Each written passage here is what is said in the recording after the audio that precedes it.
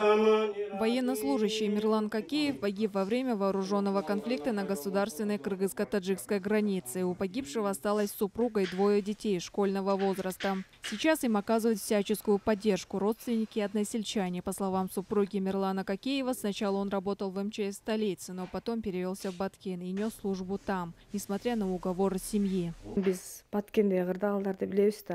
Скажу честно, когда он переводился служить в Баткенской области, я была против, ведь мы знаем, какая там обстановка, но он никого не слушал, обосновал свое решение тем, что каждый должен быть патриотом и защищать свою родину. 17 сентября мне позвонили и сообщили, что он погиб 16 и его тело уже отправили. Труднее всех потерю переносит наш десятилетний сын.